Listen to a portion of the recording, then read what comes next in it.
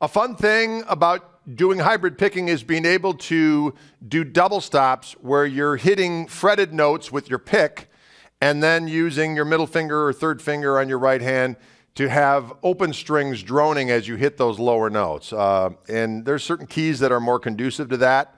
Uh, if I'm in the key of E, you know, I can hit the high E string. If I do some kind of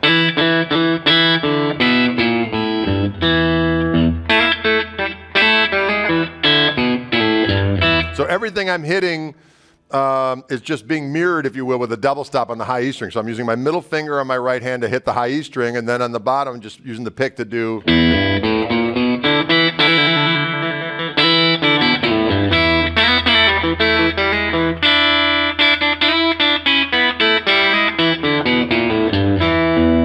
Okay. If I'm in the key of G, I can kind of mess around with different things.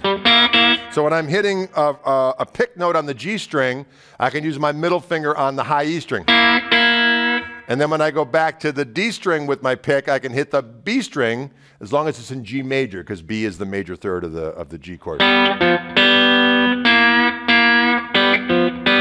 When I go down to the D, uh, the A string with the pick, I can hit the open G string. When I go down to the E string with the pick, I can hit the D string with my middle. So we got.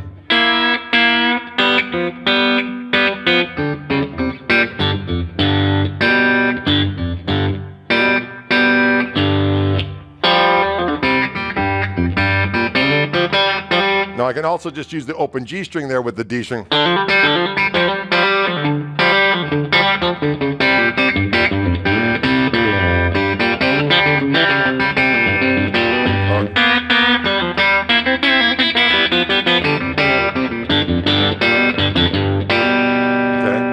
If I'm in the key of A, I can use the open E string because it's the fifth of the chord.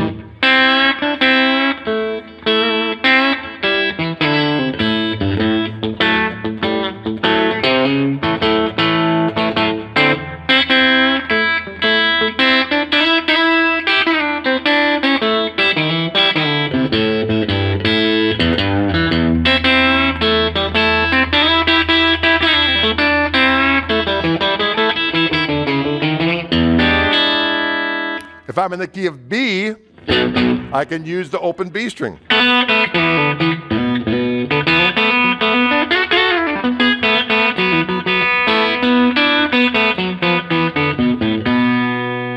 Now this one's a little bit more out. Danny Gatton would do this and it sounds a little out, but if you're in the key of F, you can use the open G string as you're playing in F blues. So it's like.